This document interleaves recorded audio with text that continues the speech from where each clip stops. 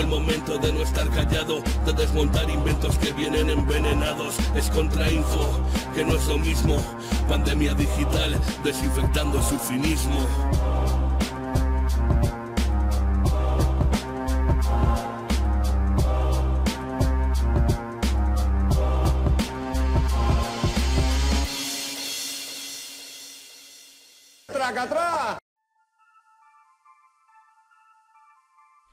Muy buenas, ¿qué tal? ¿Cómo estamos? Espero que estupendamente. Y bueno, hoy eh, digamos que como todos los fines de semana, como todos los viernes vamos a hacer el repaso a la actualidad. Los invitados que vamos a tener son de lujo. Por una parte Sato, responsable de políticas del diario público.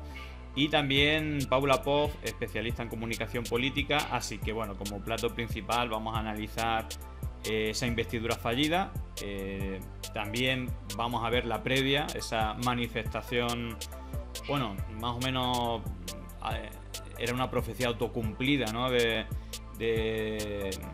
ya empezar por una oposición en vez de, intentar eh, conculcar los votos necesarios para que Fijo fuera investido y prácticamente tanto la investidura como, como esa manifestación dos días antes, bueno, básicamente era una oposición a, a Pedro Sánchez que lo va a tener complicado y más después de, la noticia que conocimos ayer, es que la Republicana y Junts han llegado a un acuerdo para eh, presionar al Partido Socialista y eh, no investirle a Pedro Sánchez a menos que eh, haya una ruta hacia la mm, digamos hacia un referéndum por la independencia cuestión que PSOE y PSC ya han dicho que no hay de la China. Así que tampoco lo va a tener nada fácil Pedro Sánchez. Pero bueno hablaremos de de muchas otras cosas que, han ocurrido durante la semana. Así que nada, bienvenidos y bienvenidas. Poneos cómodos que arrancamos. Bueno, ya estamos viendo. Bienvenida Paula, bienvenido Sato. Sato responsable de política en público. Paula Poz, eh, especialista en comunicación política. De hecho, os recomiendo la, entrevista en la katana eh, de ayer porque fue espectacular y yo estuve estuve ahí. No, la vi completa, pero me la, me la terminaré de ver. No sé si la eh, bueno, en el Twitch quedará, quedará subido y la verdad que fue... En YouTube también, ¿no? Sí, muchas gracias, Julián. Así que bueno, ¿qué tal? ¿Cómo, cómo lleváis esa resaca? Bueno, estamos todavía en el, en el intermedio. No sé si le dais algún chance a la, a la votación de hoy. Yo creo que no mucho, pero bueno, eh, ¿cómo, ¿cómo, habéis vivido la, la, semana, ¿no? Que ya mm, se estaba ahí acumulando. ¿Cómo, ¿Cómo veis un poco el momento actual, Paula, de, de la situación? Mm, bueno, yo estoy un poco saturadilla, pero yo creo que Sato, en esto estará más que yo incluso, porque yo me puedo distraer, él no.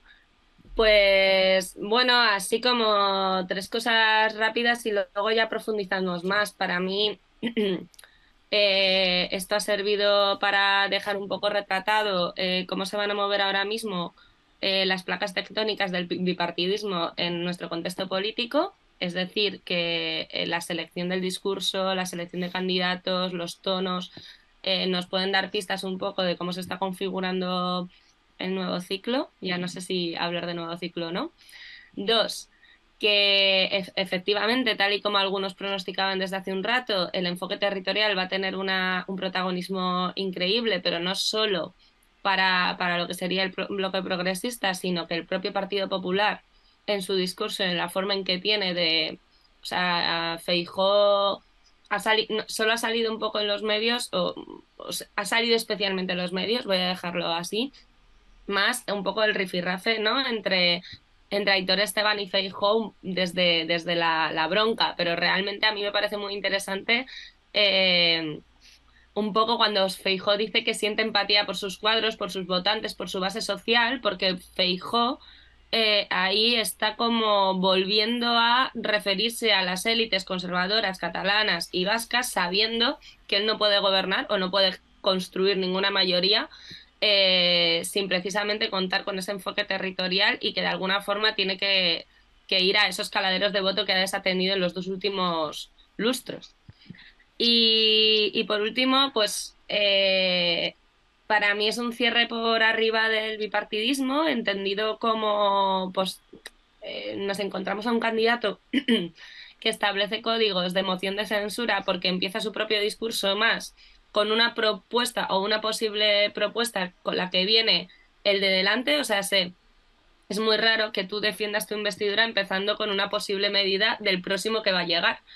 Lo que te convierte, y toda la, toda la prensa así un poco más de izquierdas ha hablado de que efectivamente tenías eh, tono de, de moción de censura, para mí tiene más tono de bipartidismo de cierre por arriba y de cómo se cómo volvemos al modelo de, de choque de choque entre, entre la derecha y la izquierda mmm, desde lo, desde las mentiras y los zascas, ¿no? Un poco eso. Sí. Así como cosas que me sí, quedan. Sí, bueno, como titulares a, para empezar. Yo no sé, bueno, eh, eh, Sato, creo que te tienes que ir cuando empiece la, la, la, segunda votación, que la gente la está olvidando, pero bueno, te, te, pregunto, de hecho la seguiremos en directo cuando, cuando nos despidamos, es decir, que tenemos una hora justa para empezar. Eh, ¿Tú crees, le das alguna opción a, a, esta segunda votación? Yo creo que la gente, después de ver, es que un poco lo decía Paula, es un poco raro como ya te estás auto o estás haciendo el spoiler del presidente va a ser usted, nos quejamos mucho, pero usted ha negociado y nosotros no vamos a negociar eh, esa esa llave después de, también de todas las mentiras. ¿Tú crees que hay alguna opción en esta segunda votación?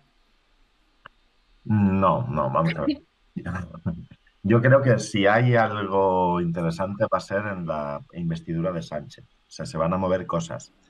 Ahora mismo Feijóo es un candidato fracasado que ha usado eh, un, arma constitucional para, para la interna, para reforzarse él en, en, un, en un en un lago en el que había muchas corrientes, ¿no? Y, y entonces él lo que ha intentado es demostrarse como un líder, creo que lo ha conseguido. Tiene capacidad parlamentaria de sobra, lo, lo hizo, con muy mala folla, con muy mala, muy desagradable. Eh, y, pero para su parroquia creo que se ha convertido en un, en un líder que no lo era hasta, hasta ayer, antes de ayer, ¿no?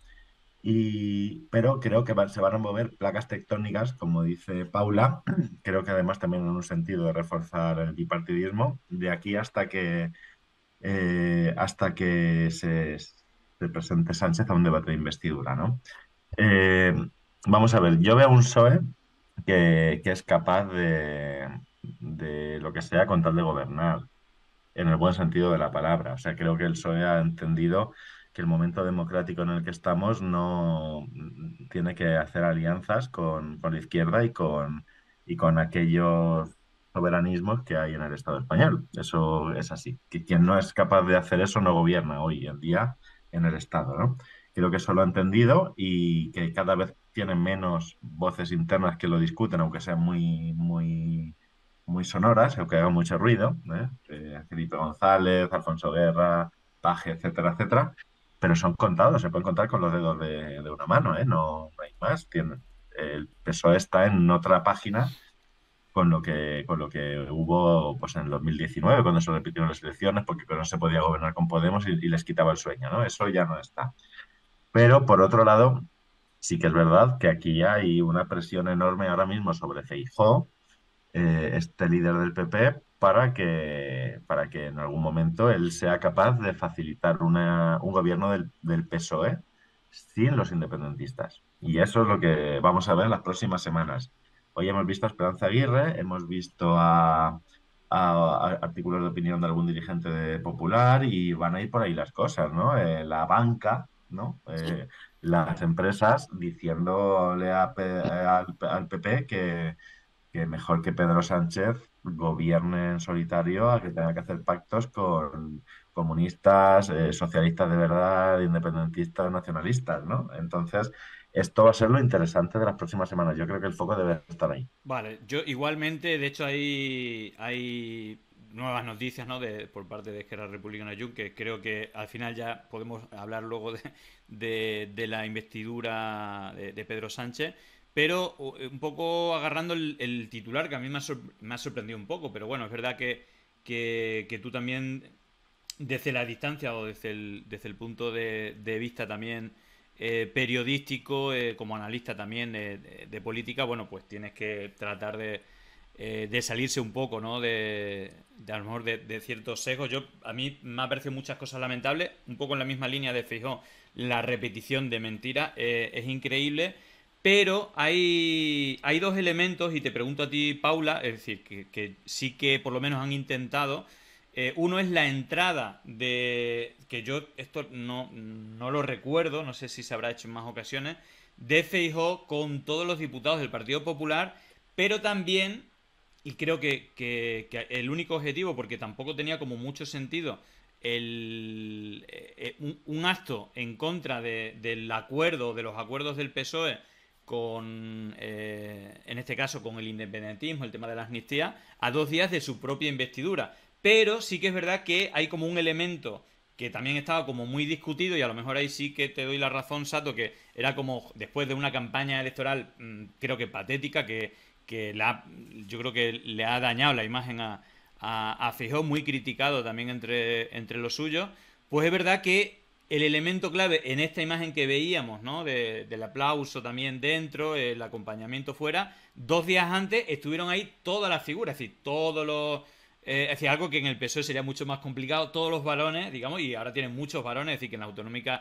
y municipales tenían mucho peso. De hecho, mm, eh, fue un músculo de fuerza, sobre todo de. Pero además casi todos fueron cargos, porque era. Si tú buscabas Pepe Don Benito, Pepe no sé cuánto, todos estaban ahí en la manifestación de, de Madrid, pero también estaban eh, todos los presidentes. Estuvo el señor Aznar, estuvo eh, me refiero a cosas que en el PSOE creo que sería como mucho más complicado en este momento, ¿no?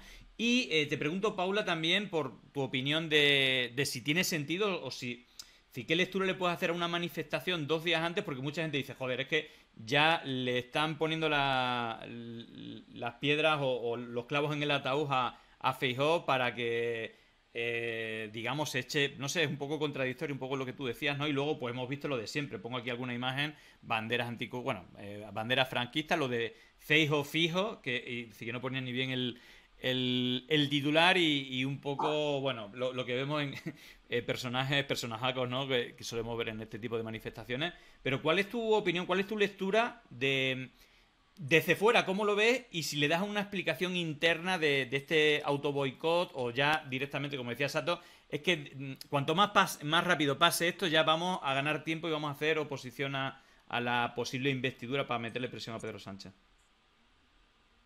Pues yo te problematizaría que no sé si es autoboicot o autobombo, porque yo estoy bastante de acuerdo con lo que planteaba Sato, de, que al final eh, Mm, el Partido Popular utiliza un, proceso constitucional, bueno, y Felipe, nuestro gran Felipe VI, un monarca absoluto de todas nosotras, eh, lo, consolida. O sea, hay una estrategia política ahí para, para utilizar un, bueno, unos, unas dinámicas eh, en favor de la consolidación no, no, sé si de un líder o al menos de, de, de una derecha que necesitaba así como, como hacer gala de varias cosas. Y ahí me meto con lo de la manifestación. La manifestación, obviamente, esto, esto es un relato, ¿no? Eh, vamos a agarrarnos al tema de la amnistía y de la traición a la, a la, a la unidad de España y a, y a, la igualdad entre todas las españolas y españoles, que esto es, que esto es brutal, cómo, se lo están, cómo están también, igual que pervirtieron el término de libertad, ¿no? intentando pervertir el tema de, de lo que es la igualdad,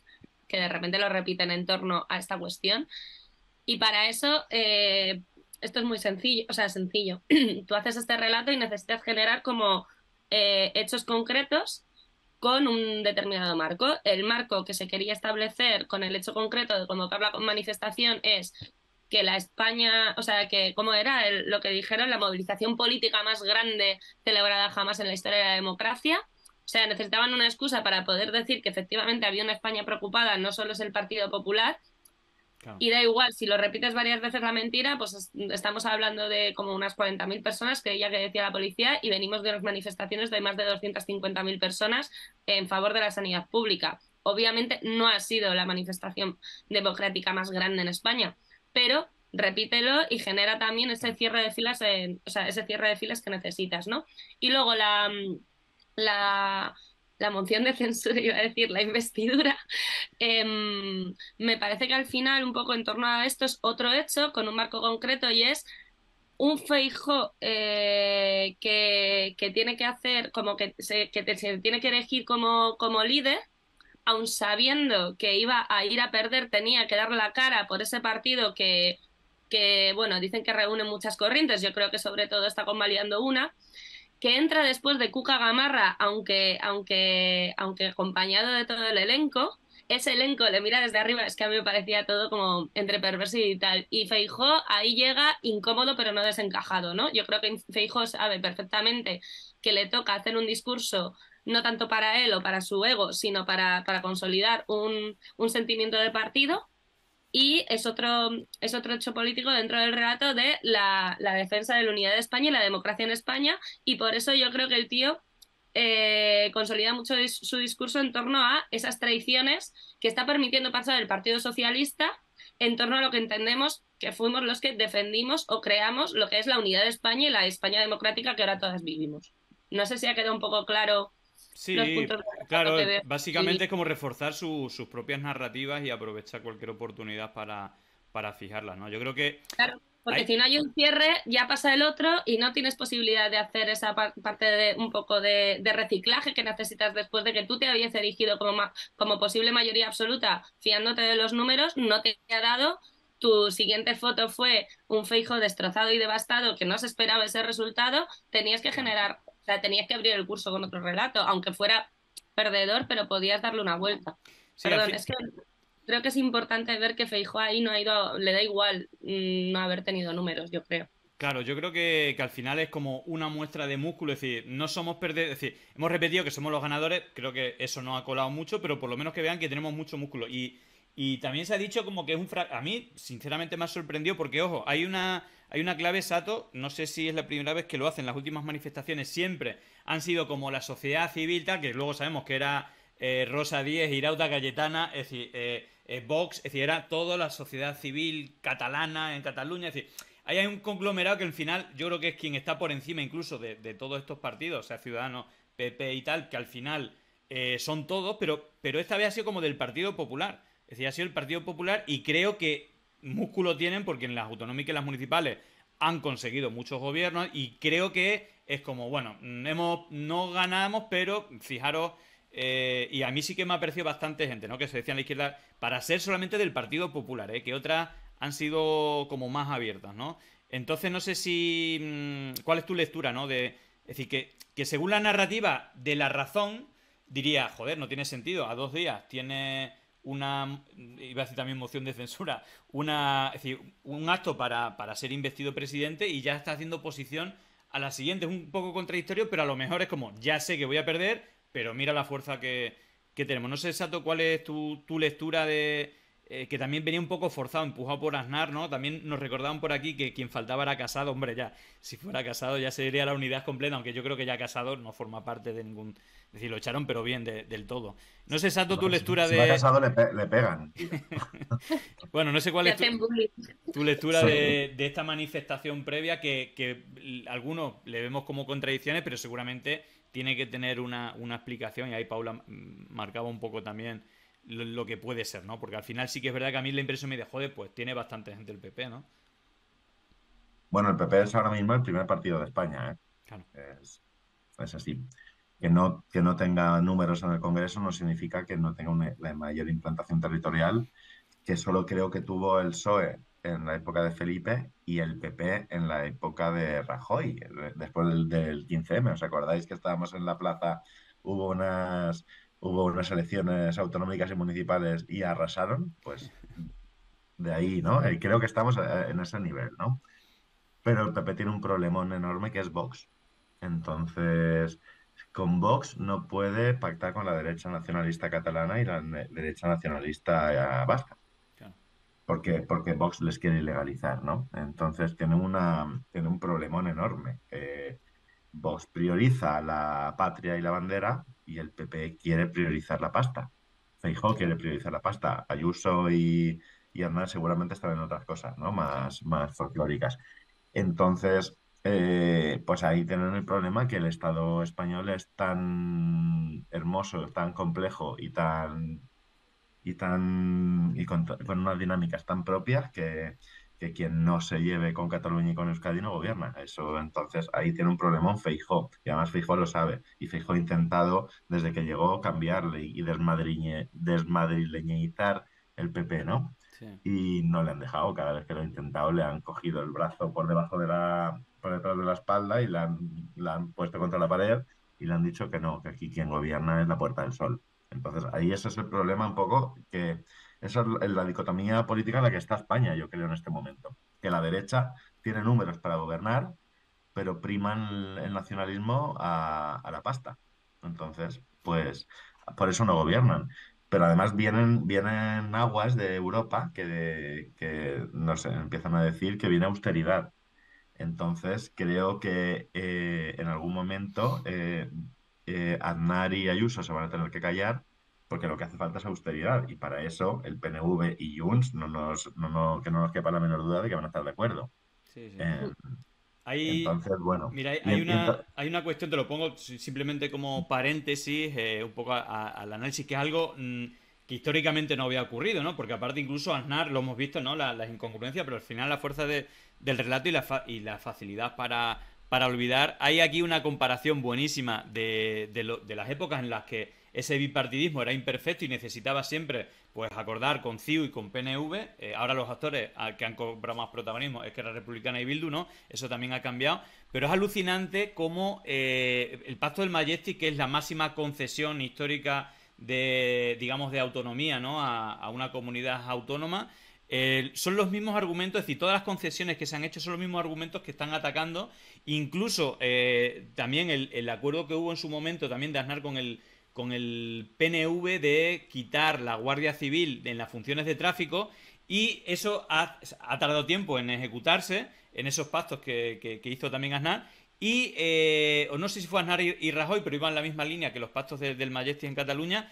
Y no tienen ningún problema en eh, lo mismo que ellos han acordado en echárselo en cara al Partido Socialista. Decir, que ahí también hay un, nudo gordiano de, decir lo contrario de lo que de lo que de lo que han hecho, pero bueno, también una ruptura, digamos, histórica esa el, PP actual como que ha olvidado toda su historia porque históricamente, eh, menos las mayorías absolutas, siempre han tenido que tirar de, de CIU y de, y de PNV.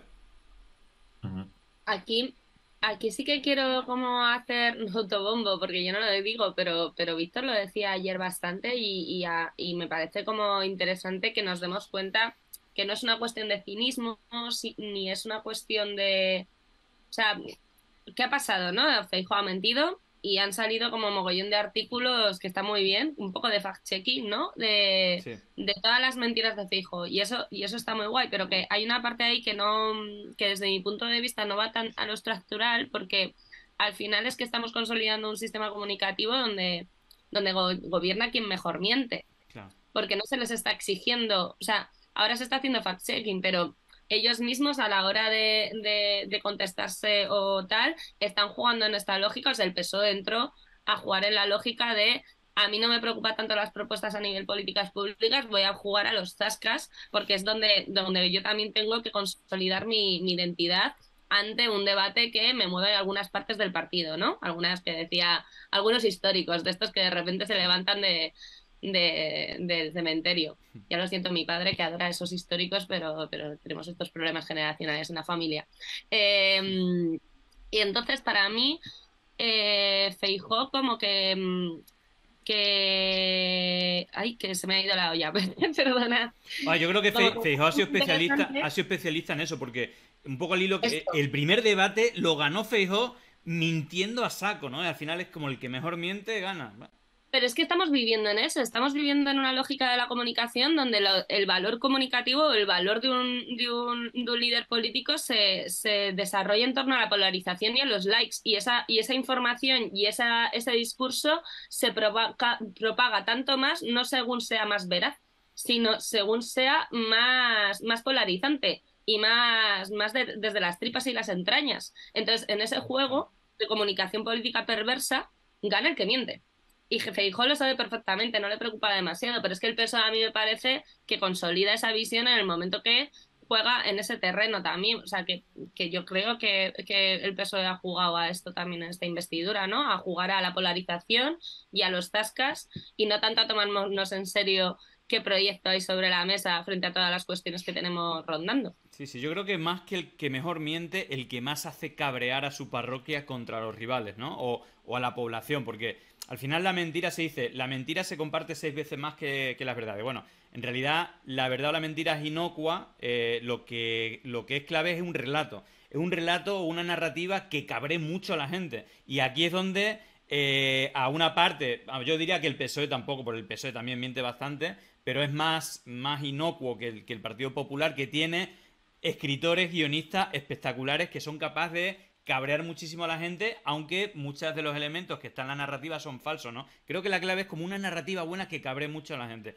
Y, ahí la verdad, pues no, importa nada, ¿no? Tiene, ahí sí que entra el que mejor mienta. Pero bueno, si os parece para cerrar, que tampoco hemos hablado mucho de la dinámica de, la investidura de estos, de estos dos días, ahí hubo un, para mí, es, eh, muy acertado, ¿no? Es decir, eh, sin mancharse las manos, ¿no? Eh, le, llamaron cobarde, pero creo que fue audaz en el sentido que hizo como un, una, doble, un doble check-in victorioso. El uno, el, mm, como no me voy a rebajar con un perdedor como, como tú, no, eh, no mereces mi, mi, atención. Y luego el poner un espejo delante del señor Fijo que lleva dos meses diciendo yo tengo el presidente porque yo he ganado las elecciones, porque esto siempre ha sido así, tal, tal. Y entonces, claro, pusieron a Oscar Puente, que había sido la persona más votada en el Ayuntamiento de Valladolid, pero eh, no fue el alcalde porque ese acuerdo Pepe Vox, pues igual que además que lo han repetido, ¿no? Que al final es una incoherencia.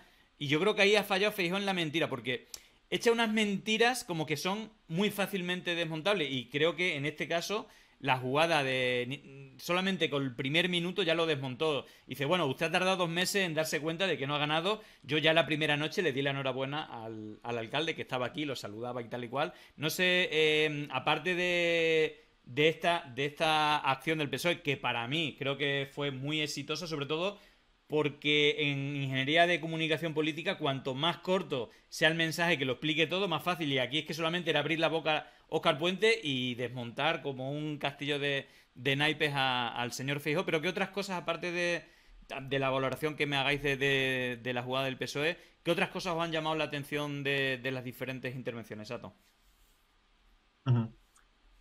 Por terminar con lo de la manifestación, o sea, decíamos que, que, el problema del PP es Vox y creo que por eso la manifestación la convoca el PP, porque al final el objetivo de la manifestación es sacar músculo frente a Vox, ¿no? si lo convoca Sociedad Civil Catalana van a estar los dos, pero en este caso no, ¿no? Entonces, la guerra de la derecha es esa, la derecha creo que sabe que para gobernar eh, necesita la derecha vasca y catalana y para eso tiene que el PP se tiene que comer a Vox previamente, ¿no? Entonces están en esa, creo, y es muy interesante el momento. Con respecto a, las intervenciones, bueno, a mí me llamó mucho la atención la, en este sentido el, compadreo de, de con el PNV después de la, de la intervención, ¿no? Cuando, cuando Feijóo se pone muy duro con el PNV, termina de hablar y luego va al escaño de Aitor Esteban y están ahí de risas, ¿no? Eh, le faltaba el puro y, el pacharán, ¿no? Sí, sí. Eh, eso me llamó mucho la atención porque es bueno, es que este, este Feijó sabe que no puede solucionar el problema territorial porque si lo intenta le cortan la cabeza en su propio partido, pero espera que Sánchez lo solucione para luego poder gobernar él. Porque si con el problema territorial no va a poder gobernar. Por lo que decíamos de que de que con Vox y con el PNV no puede, tiene que elegir. Entonces, eso me llamó mucho la atención. Entonces, perdona, te voy a hacer una pregunta porque la estás dejando caer. Eh, creo que está el elefante un poco en la, en la, habitación. Más o menos lo que estás diciendo es que hay un sector, aparte que Los Santos le, reparte todos los días, además que lo, lo escenifica, ¿no? Semper, Cuca Gamarra, Pons, que fue el que negoció con Junts y que al final eh, los otros no se lo han permitido. Hablo de Aznar. Eh, Cayetana, que también anda por ahí, Ayuso, y esa toda esa caterva también mediática que, tiene. Si tú crees realmente que hay dos frentes, porque de hecho el movimiento empezó por una movilización de sociedad civil catalana, donde ahí dijo Ayuso que iba a ir y que dice, y en la entrevista con los santos dice, yo no sé si va a ir Feijóo, yo sí voy a ir. Es como, esa división está ahí, es como una es social, es decir, nacional eh, catolicista de unidad de España, tal, y la otra, bueno, pues un poco el PP de los últimos años compadreando con CIU y PNV. Yo creo que sí. Yo, yo, soy de los que piensas que, que Feijó eh, es un PP distinto al de Ayuso. Yo lo creo. Sí, sí. Eh, pero por, por, el hecho de, de, dónde viene cada uno territorialmente. Galicia no es Madrid, ¿no? Andalucía no es Madrid, Juanma, Juanma no, Juan Manuel Moreno Bonilla, que si no le, hacemos colega ahí, ¿no? Moreno Bonilla es, es, es otro PP al de Ayuso. Y ambos tienen mayorías absolutas, pero es que Madrid es España enfarlopada. Yo suelo decir eso, ¿no? Madrid es otra, otra cosa. Entonces, en el resto de España, Madrid no mola. No, aunque sean de derechas y conservadores, pero no es así, ¿no? Y lo vimos en la pandemia, eh, en muchas ocasiones, ¿no? Entonces, yo creo que hay dos PPs. Lo que pasa es que los grandes medios de comunicación, Madrid es un plató enorme, ¿no? Entonces, los grandes medios de comunicación, pues tienen eh, una financiación enorme de la Puerta del Sol. Y entonces, eh, bueno, pues eh, se oye, se oye, con el tema Cataluña siempre se ve, ¿no? Parece que se cae España cada vez que el gobierno hace un pasito para, para Cataluña. Ahora la amnistía, pero antes fueron los indultos o la mesa de diálogo o el relator o lo que sea. Parece que hay una, una, la bombona de Butaro va a explotar, ¿no? Sí. Y luego pues sales de Madrid y la verdad es que la gente esto se la pega de una manera que no, ¿sabes? Y, no tienen, no son tantos, no, no ganan elecciones. O sea, no, o sea, ganan elecciones porque son los más votados como partido, pero España vota de una manera mucho más plural y tal. Entonces creo que Feijó venía a cambiar eso y que conforme ha entrado a Madrid, pues bueno, es que ha entrado a Madrid, es que su despacho está en la calle Génova y, arriba está el de Ayuso, ¿no? Y entonces, bueno, pues eh, es un problema que tiene Fijo, porque yo creo que Fijo tiene otra idea de, la derecha. No digo que sea menos de, derecha, ¿eh? yo no entro ahí de, ni mucho menos, porque Fijo en Galicia, pues los gallegos y las gallegas, pues te cuentan lo que es, ¿no? Y lo hemos visto, en cuanto ha hecho un debate en televisión, es más marrullero y más fake y tal que cualquier otro. Pero sí que tiene una idea de España distinta, que, no es la de Madrid. Y eso, pues es verdad.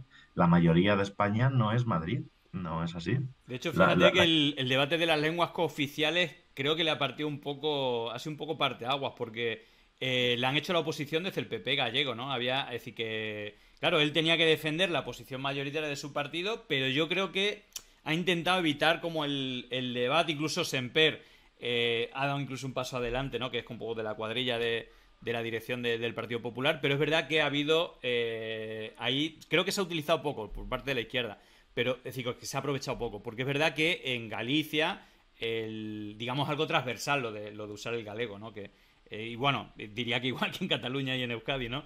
Pero es verdad que aquí, como tú dices, en Madrid, lo, como una afrenta, ¿no? El, oh, poder hablar en, en la lengua oficial, madre mía, se rompe España, ¿no? Es tremendo. Yo, ya aquí de lo que de lo que decís sobre los códigos del Partido Popular y, el PSOE, yo solo quiero recordar que, no es la primera vez que el PSOE se pone punky. O sea, que, eh, que el PSOE tararea la internacional en cada momento que ven que, que hay que, que toca polarizar y uno de los, y los dos ejes además prioritarios que ha habido en, en las últimas campañas ha sido, ojo, viene a extrema derecha con, con su interpelación al voto útil, ¿no? Y a, la opción de viene, viene, viene a extrema derecha. Ya llevamos unas cuantas citas electorales haciendo de la debilidad una fortaleza.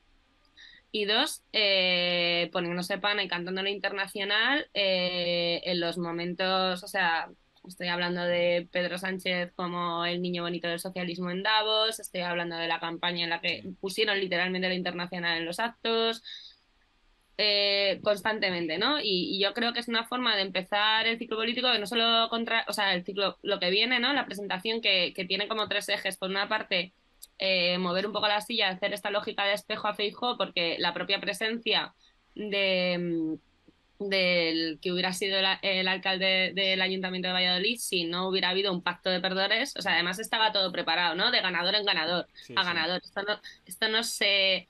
Esto es. Eh, esto es un titular muy buscado para que quedara en todos los medios. Pero precisamente, Paula, es, un titular ganador eh, porque es cortito, se entiende fácil, de ganador a ganador, es decir, que es un oh, acierto. Por eso digo que, que es un que es un trabajo de marketing político, de nuevo, eh, muy marca SOE y muy marca Pedro Sánchez con el tacticismo al que estamos ya acostumbrados un poco del último tiempo y que a lo mejor no la veíamos en un SOE de Rubalcaba, por ejemplo, ¿no? O, eh, incluso en un SOE de Zapatero que sí que también intenta, eh, tarareaba la internacional, pero no jugaba con estos quiebros. Dos, eh, no solo contrarresta a Feijó y les mueve el suelo, es que les mueve el suelo también a otra parte del arco parlamentario. Para mí le mueve el suelo también a Sumar y le mueve el suelo también a Rufián. Es decir, como sé, y esto lo decía Enrique Juliana, que Podemos quedar excluido y que no voy a, no voy a tener competidor de lo que sería punkismo izquierdoso eh, por primera vez en ocho años, eh, pues voy a ser el más punky de, de, la clase y voy a jugar a... Eh, a, de alguna forma moverle, o sea, de alguna forma sabemos que el utilizar a Oscar Puente en el debate no solo sorprende al Partido Popular, sorprende al resto del arco parlamentario y tiene dos, dos, eh, dos cositas. Una, que Yolanda no sale y sale por eso la, la portavoz parlamentaria de Sumar, ¿vale? Con, con, lo que se supone a nivel eh, experiencia y fuerza en, en, lo que sería el debate, porque sabemos que Sumar se ha construido mucho en torno al liderazgo de Yolanda. Por lo tanto, no tiene digamos que no tiene una persona con tanta soltura o con un colmillo tan, tan, tan fastidiado como, como el de Oscar Puente. Y dos, eh, sé que no está Podemos, por lo tanto me puedo permitir esa parte de recogida hacia la izquierda. Y por último también el tercer, el tercera, la tercera cuestión es, bueno, orgullo socialista, ¿no? Que, que se vio mucho en la bancada además. O sea, yo hace tiempo que no veía. Los aplausos, la sonrisa. La predisposición del Banco Socialista a corear. Yo creo que también esto, el PSOE, en un momento de incertidumbre en torno a algunos temas que a ellos les atraviesan como partido, como es la cuestión territorial, lo necesitaban. O sea, igual que estamos hablando de que el PP necesitaba su propio relato de cuál es nuestro nuestro sino, ¿no? Somos la oposición, el PSOE también tiene que consolidar un relato de somos la izquierda de, de España y además eh, nos vamos a enfrentar a determinados debates que los tenemos un poco, un poco fastidios, pero es que por fin nos van a tocar un poquito menos las narices porque voy a aprovechar. Yolanda va a consolidarse en algún momento, pero ahora mismo no está tan consolidada, están teniendo mogollón problemas. Pues voy a aprovechar esta debilidad de la parte de la izquierda, igual que el PP está preocupado por Vox, el PSOE también está preocupado por sumar y todo lo que tenga a la izquierda. Y con esto se ha, ha matado dos pájaros de un tiro, como quien diríamos. Y de hecho, Feijó metió el dedo en la llaga. Te pregunto, Sato, también por esto, el, melón que ha abierto, que todavía no lo hemos comentado. Que yo decía de dos wing, ¿no? El, de, el de, de, un, de un chisqueo, eh, de, hacer desaparecer el relato eh, fallido de, de Feijó, ¿no? De dos meses repitiendo lo mismo, que con una frase te lo desmonta. El no ensuciarse las manos y, quedar a, a Feijó como un perdedor total. Y claro, ahí hay una tercera ganancia que es el o más punky do mundo, el PSOE, otra vez. Eh, y también porque es verdad que la portavoz, es verdad que hubo creo que tres intervenciones por parte de, de Sumar, quizá la de la de Enrique Santiago fue un poquillo más, más contundente, pero a lo mejor de la portavocía que es como un poco si hubiera estado Yolanda, eh, no sé si hubiera sido diferente y creo que no sé si se ha jugado bien las bazas, pero, pero es verdad que ha sido no criticada, o sí, también ha sido criticada, ¿no? De la intervención de la portavoz de, Sumar Deloitte eh, por la falta de experiencia, que a lo mejor el, relato no estaba tan mal, pero ha sido como muy tranquilo, apagado, también se le vio un poquillo nerviosa, también normal. Pero claro, eh, ves a Oscar Puente, un macarra con soltura, tal, tal, y al final eh, las formas creo que también cuentan y a lo mejor ahí mm, ha habido más guiños desde la izquierda de la izquierda a Oscar Puente que a lo mejor la propia intervención de Suma. No sé, exacto también si eh, opinas así como Paula, que, al final la estrategia también puede ir por ahí, pero tú realmente crees que, es efectiva o, cuál es tu valoración también de, las intervenciones de, Sumar en, todo, en todo esto.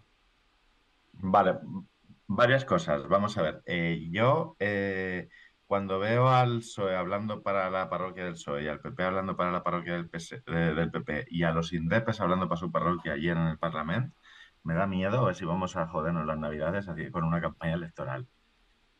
Lo primero.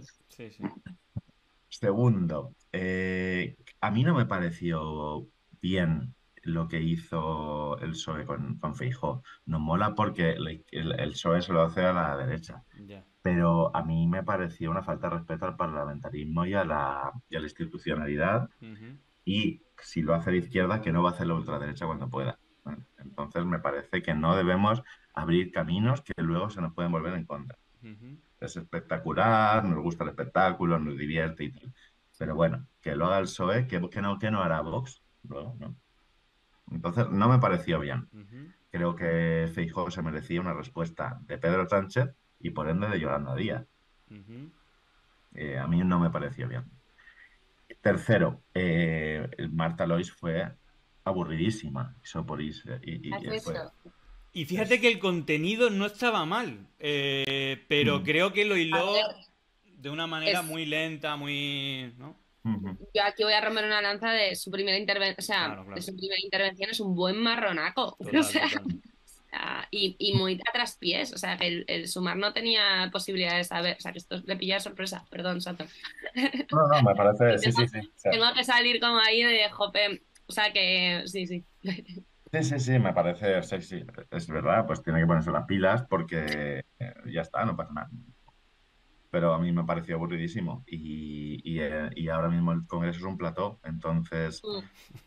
eh, Tal cual. yo qué sé, no es una clase de, no es una clase en la universidad, ¿no? Entonces, pues bueno, pues Sumar se tiene que poner las pilas ahí porque seguro que hay una portavoz enorme. Eh, yo recuerdo a, a, a cuando nombran a, a, a Marta Lois portavoz decir que ha nombrado a una persona sin experiencia. Perdona, Yone, tú no tenías experiencia cuando fuiste ministra, ¿no? Y es decir que Claro. pues, pues la, la cuestión se va generando, ¿no? Entonces, Vale. pues Marta tiene un camino enorme que, que recorrer y que mejorar, pero tiene que mejorar porque lo, lo del otro día fue aburridísimo. Sí, Eso sí, es sí. verdad, no- nadie lo puede negar, ¿no? Y, y ya está. Y eso, solo Sí, simplemente por- otras cosas que no está mal. Por cerrar, y con esto ya sí que terminamos, también ha generado polémica, eh, pues ya aquí, claro, es totalmente subjetivo el hecho de que nadie de Podemos participase y que al final esto pues tampoco suma eh, buen rollo, ¿no? En esa cada vez más visible, ¿no? Di- división. Eh, aunque sea un comentario cortito y ya, y ya eh, pasamos de, de tema que... eh, ¿Qué opináis, ¿no? De, de esta, de este debate, ¿no? Que al final es como un, un episodio más de, de esta distensión interna, ¿no? Dentro de Suma. Yo aquí tengo pato, o sea, que, que al igual que, que me sale como intentar no hacer sangre, o sea, no hacer leña del, del árbol caído, por esto que, que comentaba con Sato, en plan de, bueno, de- lo que decía, ¿no? Demos oportunidad a gente nueva que no es, no es, no es fácil y, y creo que les pilla a traspiés, etcétera. Bueno, me parece, pues como, como otras tantas decisiones que, creo que tienen más que ver con la interna que con una cuestión electoral, aunque se enfoque desde ahí, eh, es una, una... Estaba buscando una palabra que no fuera cagada, una cagada de dejar fuera Podemos. Primero, porque te genera un ruido innecesario. Segundo, porque a largo plazo, eh, y al igual que dijiste que eh, que Irene Montero restaba y no sumaba, eh, creo que estás haciendo política basada en una especie de mercadotecnia que no, no está comprobada y que, que realmente sí que tiene como muchísimo pozo político en el que muchas nos sentimos muy incómodas. Y por último, es que, es que a, a nivel táctico es poco efectivo en tanto y cuando, pues un poco con lo de la experiencia. O sea, estamos hablando de ocho años de parlamentarismo que algo les habrá quedado de aprendizaje. Podemos estar más o, más o menos de acuerdo, pero si entendemos esto, sumar, como un sumatorio donde vas a utilizar lo mejor de cada parte, tira de parlamentarios que tienen también un poco el colmillo torcido y que te puedan jugar, o sea, que sepan que es el PSOE delante tuyo. Y yo creo que en ese sentido, eh, no utilizar a las filas de Podemos cuando son los que más leche se han dado de frente con el PSOE, pues puede que no sea, no, no, no sea jugar como con todo tu equipo en la cabeza, ¿no? O sea, me parece que lo que te estás haciendo es, es zancadillas. Sato, ¿algún comentario al respecto? Bueno, te estoy dando titularzacos, oye. A ver cómo lo digo de una manera elegante. A mí me, me gusta más el Podemos que, que no llora todo el rato por sus puestos.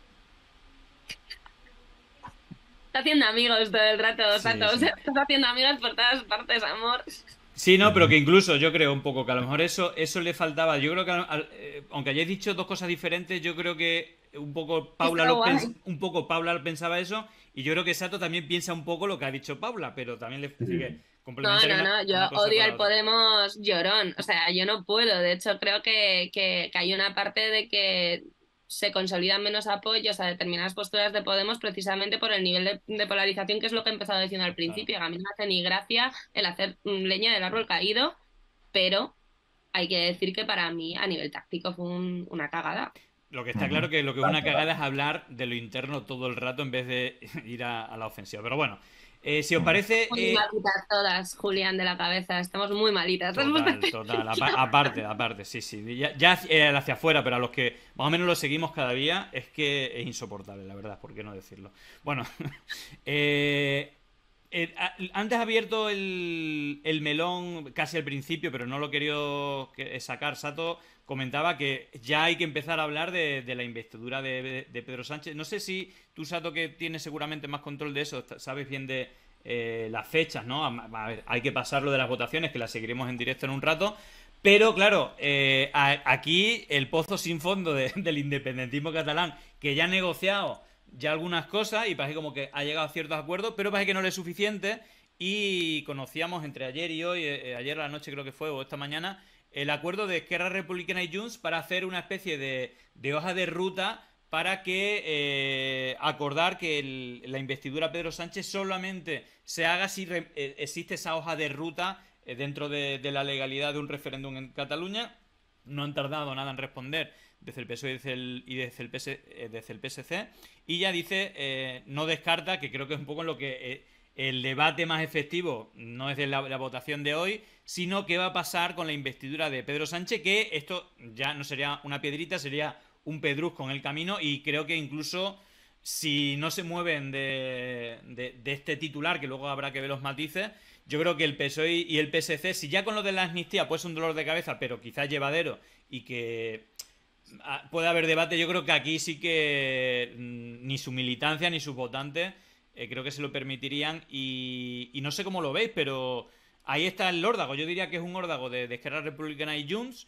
Y yo creo que el PSOE no, va a pasar por ahí. Pero ojo, no, sé cuál es el análisis que, hacéis vosotros. Si realmente es un órdago para ver hasta dónde llega el PSOE o realmente... Mm, eh, están dispuestos a, mantenerse y esto nos, llevaría a unas elecciones. Ahora mismo, ¿cómo, cómo pensáis que, se va a traducir esto de cara a los próximos meses? Y bueno, a la investidura, que no sé la fecha, Sato, si, si tú nos puedes recordar un poco cómo son las fechas de, investidura, que no sabemos si un mes, dos meses, bueno.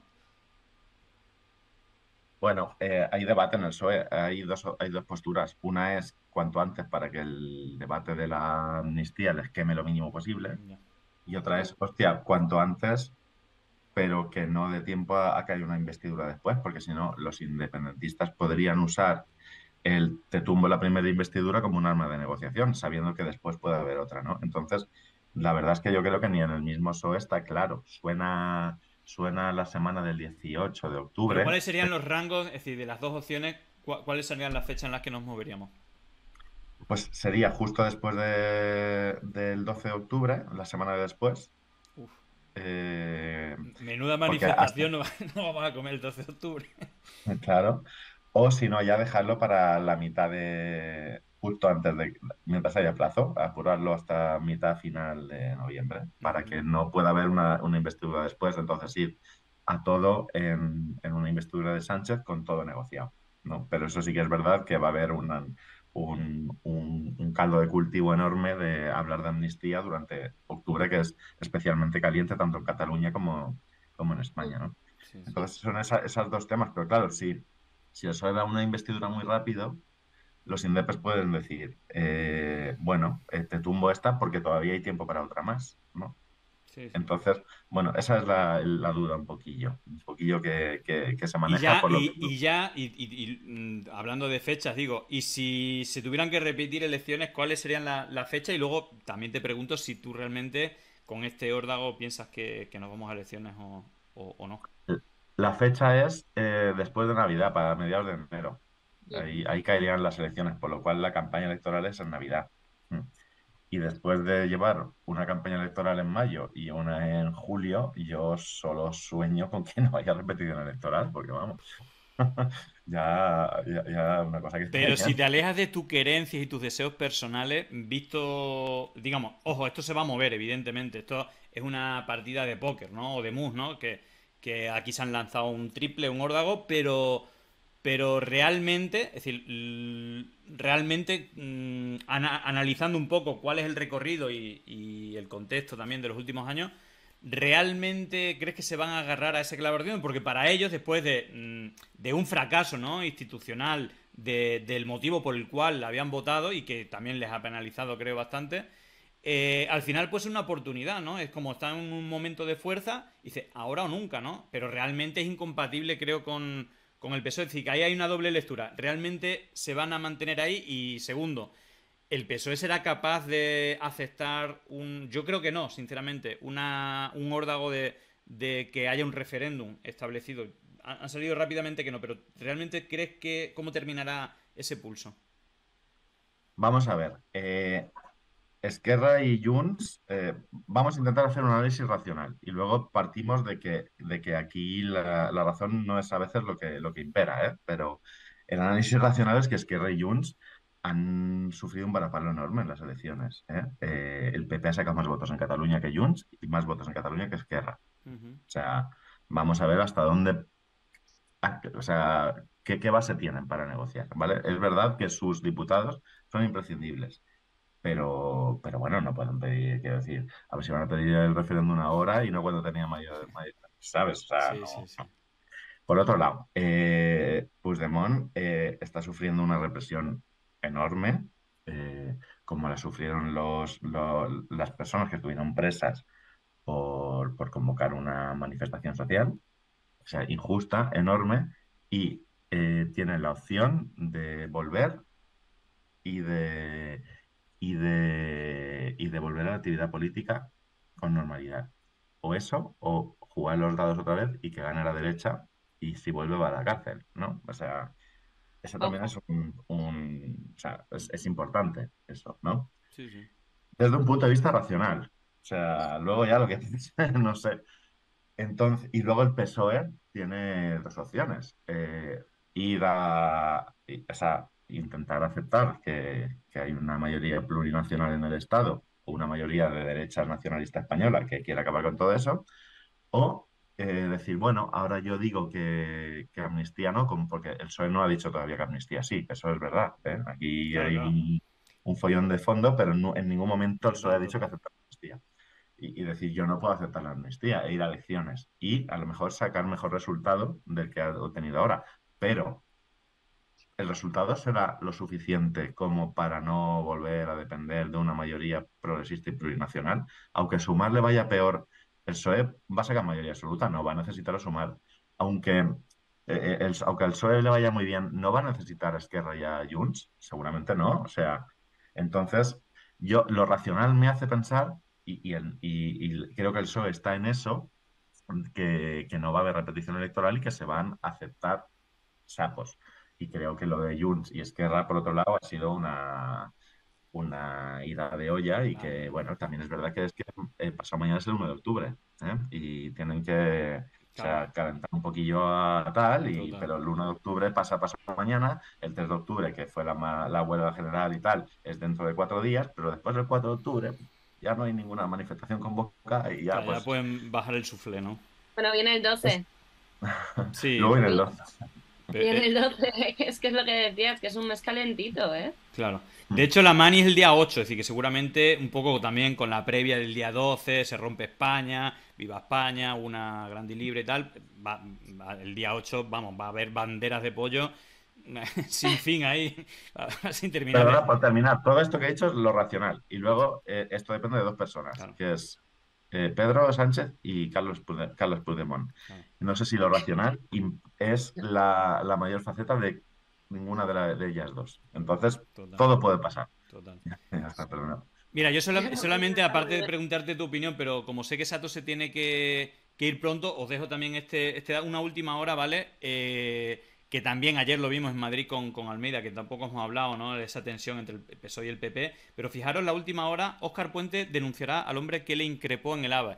¿Qué es lo que ha pasado en el, en el AVE? Bueno, pone aquí la vez un altercado con Óscar Puente provoca un retraso de casi media hora del tren que le llevaba a Madrid para la investidura. Bueno, no sé si llegará o no llegará, pero eh, bueno, mm, hay tensión en el ambiente, porque ayer también lo, vimos. Pero bueno, os dejo un último comentario sobre, sobre el asunto, Paula, eh, que todavía te queda un poco la, la, opinión de, de, qué va a pasar, si va a haber elecciones o no, si realmente este órdago sale, pero si queréis, mm, como es última hora, acaba de salir ahora, Si queréis hacer algún comentario también respecto a la tensión, ¿no? En este caso contra Óscar Puente, pero ayer lo vimos del PSOE hacia al PP con, con eh, creo que era eh, Bidui o Bidu, tiene un apellido medio raro, Biondi, Biondi contra, contra Almeida.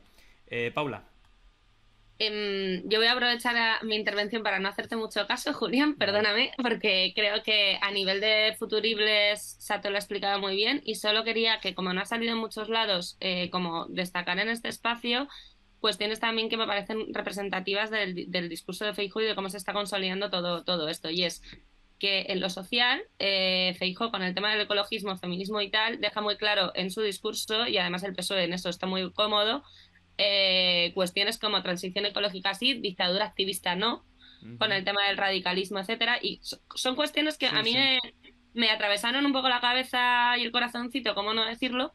Entonces como que quería como eh, usarlo de aviso a navegantes de lo que se viene va a ser duro, pero no solo duro en, en cuestiones eh, más de relato, en términos de de, si nos vamos a comer un octubre, como decía Sato, y es verdad, muy de temas de derecho a decir, amnistía, etcétera, que también me gustaría, yo tengo ganas de ver en, la, en el 1O qué, qué tensión establece lo que sería la sociedad civil catalana, porque solo estamos, solo estamos escuchando los discursos de lo que sería la, la la, los partidos políticos. La institucionalidad, sí, la moqueta. La institucionalidad, pero tengo mucha curiosidad de con qué, con qué tensión marca la manifestación del 1O eh, un movimiento que al fin y al cabo tuvo sus actores políticos, pero realmente toda la parte de, tensión y que se comieron los que pusieron el cuerpo fue la sociedad civil catalana y los que se han comido también, eh, que solo hablamos de, de, las caras públicas, se han comido penas de cárcel, multas enormes, etcétera. O sea, que había una represión ahí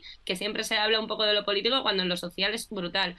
Y que Feijó, además, en, en el discurso de investidura, mete leches todo el rato a lo que sería ese radicalismo activista que encima está siendo criminalizado por muchas partes y que tienes y que para mí hay tres ejes muy muy básicos que es eh, la dictadura del activismo en términos del ecologismo social al que se le está atacando de una forma con, eh, muy bestia y estamos ahí viendo a Futuro Vegetal, Stis Rebellion, etcétera. El tema de la ocupación, otra vez, como no va a utilizar eh, el, crimen perfecto, por así decirlo, ante la no propuesta de... O sea, Feijóo le dedica tres párrafos literal en su discurso al tema de la vivienda, cuando es una de las problemáticas sociales más importantes de este país. Y cuatro, el tema del feminismo, que obviamente vamos a utilizar o corromper la idea de igualdad, que es una, una palabra que se utiliza eh, históricamente desde los feminismos, para hablar de la igualdad de los españoles en base a la cuestión territorial de España. Y quería como que Luego nos vemos todos un poco en el pim pam, pim pam del PSOE y del PP y quería como decir bien, bien, esto bien. que había pasado en el discurso en términos de temas Total. Aparte, aparte es que es totalmente hegemónico, ¿no? Y aparte un poco, mm, por lo que hemos hablado dentro del espacio sumar, si hay, se habla algo de ese espacio, es las trifulcas internas en vez de ir al ataque. Ahora mismo sí que hay voces fuera del parlamentarismo que están dando la caña y que le están dando caña y no hay gente que le defienda como Pablo en este caso, así que más que, más que adecuado. Yo he echado mucho en falta como hablar de, eh, vale, aparte de las leches entre el PSOE y el PP y el bipartidismo, ¿qué narices está pasando dentro del parlamentarismo con los temas sociales que realmente están, están no solo siendo problemáticos, sino criminalizándose a unos pasos súper rápido y que el PSOE no va a ser el actor que defienda precisamente, o sea, el PSOE ni va a interpelar eh, la lucha, las luchas sociales como forma de sostener sus políticas públicas. Es que no lo va a hacer. Total. Eh, mira, última hora, Sato, ya me, comentas ya para despedirnos. El Parlamento aprueba la propuesta de Esquerra Republicana y Jun para avanzar en un referéndum pese a la oposición del PSC. Bueno, el timing también de esta gente a unos minutos antes de la segunda vuelta. No sé si meterle presión, esto es presión al PSOE, al PP, a, bueno, no sé, eh, pero vamos, última hora, es decir, que justamente a minutos de, que se empiece la votación, bueno, eh, si, si, quieres último comentario porque te tienes que ir a cubrir el, ¿Puedes, repetir cuál es la última hora? Perdona. Sí, el Parlamento aprueba la propuesta de Esquerra Republicana y Junts para avanzar en un referéndum pese a la oposición del PSC. Un poco lo que estamos comentando antes. Y ya el timing perfecto, unos minutitos antes para meter presión. Bueno, yo creo que esto no cambia nada. Esta segunda votación sí que eh, puede meter más presión a lo que estamos hablando, ¿no? La siguiente investidura. Eh, pero no, sé qué. Mm, yo, no sé si esto cambia algo. yo creo que es teatrillo pero es mi opinión, ¿eh? No, a mí me da la sensación de que esto es teatrillo, de, bueno, pues el 1 de octubre viene el domingo, mm, de repente pues la unidad independentista para que la Asamblea Nacional que de Cataluña no les diga a los partidos que no son capaces de unirse ni en lo, ¿no? Un poquito el teatrillo este que, que lleva muchos años y que, bueno, yo creo que no va a ninguna parte, creo. Pero también esto es una mecha, o sea, pues ya está encendido. Entonces, bueno, si ahora de repente sale alguien del PSOE y hizo una declaración desafortunada en el patio del Congreso antes de meterse en el hemiciclo, pues sube. Entonces, luego otra respuesta y vamos a ver. Yo creo, pero creo que esto es verbal, es una eso no, no tiene rango de ninguna norma lo que han aprobado el Parlamento. Es bueno, pues palabras. Tipo, PNL, ¿no? De esta de mm. bueno, eh, una que todo el mundo se posicione. Bueno. En fin, bueno, el pleno acaba de empezar, así que yo Sato que te tienes que ir. Si queréis, mm, despediros con lo que queráis. Eh, promo de lo que estáis haciendo, eh, una despedida normal o lo que queráis, Sato. No, que mucho gusto con, con vosotras dos, la verdad. Sí, sí, que cuando queráis, aquí estamos. Muy bien, gracias. Paula, que bueno, yo sí que le quiero hacer promo a la entrevista de ayer, si la voy a subir eh, a YouTube, de Víctor San Pedro, que es catedrático literalmente de comunicación política y fue una masterclass espectacular y la verdad es que también gracias Paula a ti por, por traerlo, que, que aparte fue como en plan muy pedagógico, ¿no? Eh, bueno, yo hago mi, mi, mini promo, pero seguramente tú quieras hacer otra, otra promo. Em, no, la verdad que, que, no mucha, mucha promo porque, porque hasta dentro de unas semanas no vamos a volver a la katana, pero bueno, que el Twitch del salto, por eso de promocionarnos en unos sitios y otros, pues que ya está ready, ya están ahí todas a tope. Eh, y que creo que van a salir contenidos, bueno, ya están saliendo, pero contenidos muy chulos este, este tiempo y que además, eso, con el cierre de que cada vez se habla menos de lo social, que volvemos a involucionarnos hacia abajo en este sentido, cuando, cuando hemos conseguido que fuera un actor político bastante notorio en, eh, en tiempos pasados, pues otra vez estoy viendo ese cierre por arriba que afecta, de hecho, en avanzar en debates y, justicia social, que al final es como más se ha, se ha, conseguido. O sea, los avances feministas, Irene Montero se remonta a la huelga porque necesita ese empuje para poder consolidar políticas públicas que ataca a la derecha. Entonces, a mí me parece como un, simplemente eso, el poner sobre el foco lo que se estaba abandonando en este discurso, cómo nos perdemos en el ruido parlamentario y cómo además los relatos parlamentarios tienen que ver más con el entorno bipartidista que ya nos veníamos acostumbrando, o sea, que estamos volviendo a normalizar, pero que habíamos roto bastante desde 2014, incluso desde antes. Muy bien. Pues nada, lo dicho, ya ha empezado, así que nos vamos a ir enseguida y nada, muchísimas gracias por estar aquí, espero que nos veamos prontito por aquí por las pantallas o si puedes en persona mucho mejor.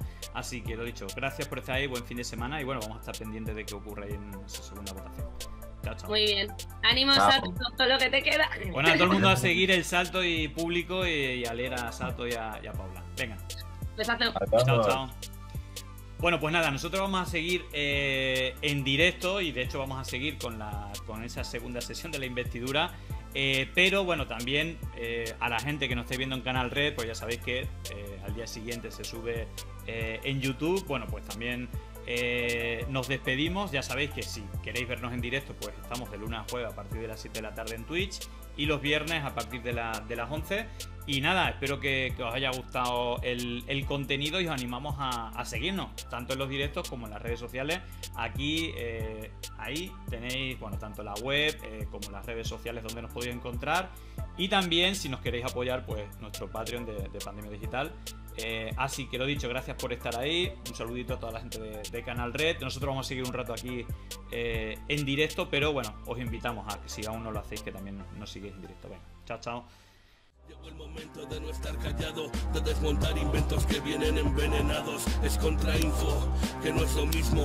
Pandemia digital, desinfectando su finismo. Gracias por la suscripción, muchísimas gracias.